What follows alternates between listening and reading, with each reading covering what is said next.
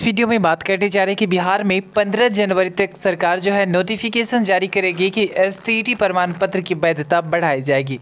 जी हाँ आपको बता दें, ये खबर आज की है कि बिहार राज्य एस उत्तीर्ण शिक्षक अभ्यर्थी संघ ने जेडीयू के राष्ट्रीय उपाध्यक्ष प्रशांत किशोर की पहल पर सचिवालय स्थित कार्यालय में शिक्षा मंत्री के साथ वार्ता की और संघ की ओर से बताया गया कि इस दौरान विभिन्न मांगों से शिक्षा मंत्री को अवगत कराया गया वार्ता के क्रम में शिक्षा मंत्री व प्रधान सचिव ने संयुक्त रूप से कहा कि एसटीईटी के प्रमाण पत्र की वैधता की अवधि बढ़ाई जाएगी और इसको लेकर के 15 जनवरी तक शिक्षा विभाग इसकी अधिसूचना जारी करेगा। जी हाँ, आपको बता दें कि बिहार एसटीईटी के प्रमाण पत्र की वैधता बढ़ाई जाएगी। इसको लेकर के फाइनली शिक्षा विभाग पंद्रह जनवरी तक अधिसूचना जारी कर देगी। कहा जा सकता है बिहार एस की परीक्षा में उत्तीर्ण अभ्यर्थियों के लिए एक बड़ी राहत बड़ी खबर है कि उनकी मार्कशीट की वैधता अब बढ़ा दी जाएगी।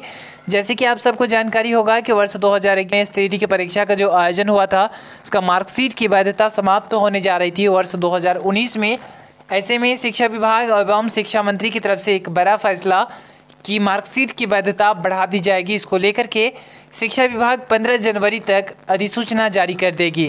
फ़िलहाल इस अपडेट में बस इतना ही। जैसे कि आप सबको जानकारी होगा कि सरकार अभी फ़िलहाल अतिथि शिक्षकों की बहाल करने जा रही है। इसको लेकर भी माना जा रहा है कि जनवरी में नोटिफिकेशन जारी कर दिया जाएगा दूसरे या तीसरे सप्ताह में। जी हाँ जनवरी के दूसरे या तीसरे सप्ताह में नोटिफिकेशन जारी कर दिया जाएगा। बिहार के हाई स्कूलों में अतिथि शिक्षकों की बहाली को लेकर के।